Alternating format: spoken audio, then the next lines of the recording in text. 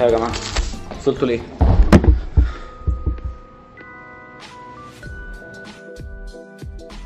أنا لسه كنت بخلص شغل دلوقتي حالا بفكر بس لسه ما وصلتش لأي حاجة. وأنت يا ست هانم مش نركز شوية في مشروع التخرج ده ونخلص ولا أنت مش من هنا أصلا؟ لا لا لا أنا معاكم بس هطلع أجيب حاجة اوام واجيلكم أهلا يا بيه. فكرت في حاجة لمشروع التخرج؟ إيه رأيك نعمل مشروع interview مع شخصية ملهمة للجيل؟ مين الشخصية الملهمة دي بقى يا number 1 محمد رمضان. نعم هو ده الشخصيه الملهمه انت عايز تموتني؟ يا عم انت متنرفز عليا ليه كده؟ حاسس السندوتش ده سوء استماع. إيه يا بنتي انت كنت فين كل ده؟ يا عم استنى بس أشوف اخرة الهبل ده إيه. أنتوا شفتوا الفيديو بتاع كايا؟ كاي- إيه كايا ده؟ قلبي يا رب. وبحبك قوي يا كويا بجد بقول لك قلبي يا رب. يا نهار أزرق. الجيل ده؟ الجيل ده فيه حاجة غلط. فعلا الموضوع بقى over أنا نفسي أسأل العيال دي فين أهلهم؟ بالظبط.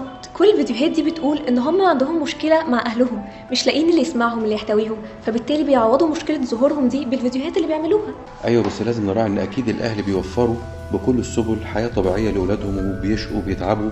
فمش معقول منطقي إن تكون النتيجة كده يعني. الحكاية مش حكاية فلوس وبس الفلوس مش هتخلق وعي لكن التفكير والكلام مع الأهل والنقاش معاهم هو اللي هيخلي عندهم رصيد في الوعي بتاعهم مش أي حاجة يسمعوها أو يشوفوها يقلدوها والسلام. الفكرة إن كل أب وأم لازم يوازنوا بين عملهم بره البيت وواجبهم جوه البيت تجاه ولادهم. فعلا زي ما بحقق ذاتي ابني كمان ليه حق عليا إن أحتويه وأكون صاحبه وأسمع منه. أنت إيه رأيك يا يوسف؟ يوسف. إحنا عمالين نلف نلف نلف نلف. طب ما تعملوا مشروع التخرج عن الفكرة دي وخلاص. نعمل مشروع التخرج عن الأندر ايج ها؟ هي إيدك رايحه فين؟ مسافرة؟ في كادر يا بابا. انزل. بس اثبت كده. آه. أنتوا شفتوا الفيديو بتاع كايا قلبي يا رب. وقف بقى.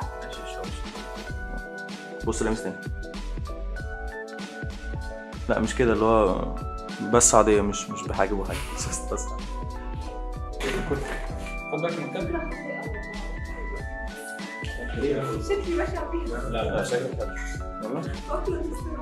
بس قبل قبل ما نعمل شد الكرسي كده بعض كده. كويس؟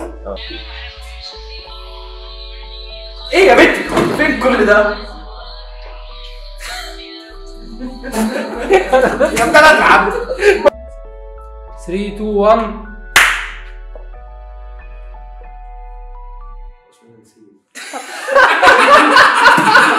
والله عارف هو